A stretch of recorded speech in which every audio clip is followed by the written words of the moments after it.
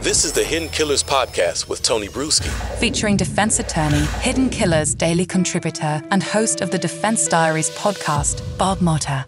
McClelland, uh, the prosecutor, filed a motion to withdraw his most recent request for Richard Allen's mental health records after pushing for them for a little bit of time. Uh, why? Why suddenly it's like, oh, I don't need those. I'm good. Yeah, it's. ask it again, man. I was spacing out. No, Sorry, dude. no, no. McClelland has filed a motion to withdraw his most recent request for Richard Allen's mental health records. Uh, I, the question is why? Because he was pushing for it for quite some time, and all of a sudden it's like, ah, I don't need those now that we're getting. I mean, it, it, it seemed to kind of coincide with the fact that we have a date for the trial. He's suddenly like, I'm good. I don't need those. Uh, no. What the actual reason was is that uh, he made a, a grievous error in that he cited in his third motion for uh, Richard Allen's uh, mental health records. Yeah. um, a ex parte uh, motion that was filed by the defense seeking funds for uh, various experts. And ex parte, uh, that means that the other side cannot see it. Okay, Ah. so so he, he he cited, so he made this admission in in his pleading that he had read it, and, and not only did he read it, but he put the the perspective expert that the defense was going to hire as far as a forensic psychologist to deal with the uh, jailhouse confessions uh, put her in the pleading itself and she hadn't even been retained.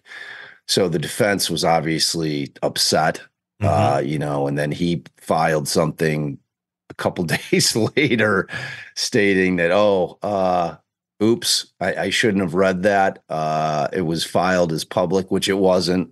The just the, the defense verified uh through the the filing system that it was not filed public it was sealed. Um then how did he get it?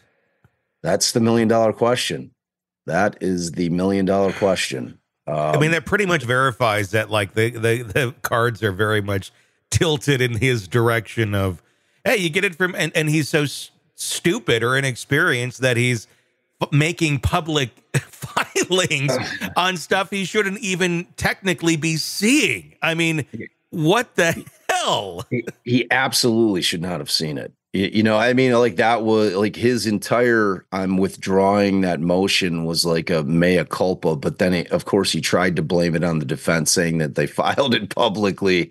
The defense, of course, responded in writing saying, no, not true. So uh, yeah, it, it's the whole the whole case, man, uh, is just a mess. You know, and it's like I, I was relieved that they had filed the 70 day. I, I think you and I were talking about it. I, I didn't know what their position would be with respect to to doing that, just because of all the the bullshit that's going on with the case in Yeah. terms of can they be ready? Uh, you know, but but once they filed it, you know, it, it really changed the dynamic in a lot of different ways. Sure. You know what I mean? So, um, I mean, eh, you know, the other thing that that we should probably discuss is the fact that you know we've got this hearing coming up on Monday, and it's actually two hearings. Uh, there's the the motion for contempt against the lawyers, Mhm. rehashing the same things, the exact same things that were already discussed and litigated in front of the Indiana Supreme Court. Yeah. The Indiana Supreme Court, as a result, of course, reinstated them. Uh, he saw fit to decide to to spend his precious little time that he has left, as we're 59 days away from trial, preparing for a thing that doesn't matter. The Supreme At all. Court already gave their, their what they decided on that. It's done. Yeah. It's done. A- And, you know, it's like I I don't see what his end game is. And and again, when we're talking about a prosecutor's office that does not have the resources and and uh, you know, just bodies to be able to help him to prepare, it's a very odd choice. Yeah. You know, for those that are uh, you know, on the side of Allen's guilty, uh, or for all of us that are on the side of we want justice for the girls, it, it's a it, it's disconcerting because he's choosing to spend his time on something that really is ancillary, mm-hmm. has has no bearing or impact on the trial itself, and, and frankly can wait. I mean, if he wants to bring this, bring it after the trial. Yeah. You know, I mean, like all of this stuff can wait until after trial, you know, and and then, you know, if Gull's gonna punish him, then she can punish him then. Yeah. It doesn't have to be done now. So to me, tactically, he's making a, a, like a massive mistake by waiting because he's got to be preparing for this.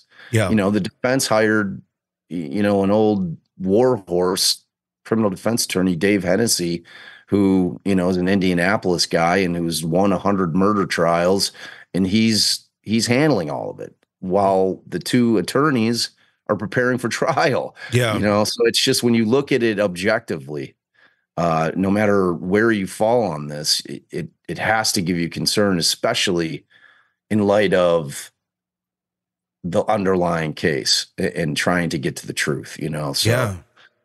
it's a strange, strange decision on his part. Want to listen ad free?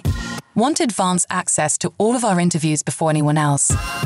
Become a True Crime Today Premium Plus subscriber on Apple Podcasts. You get every episode commercial free. So you can binge on True Crime until you can binge no more. Search True Crime Today Premium Plus on Apple Podcasts now, or go to our podcast page and sign up now. More of the Hidden Killers podcast next.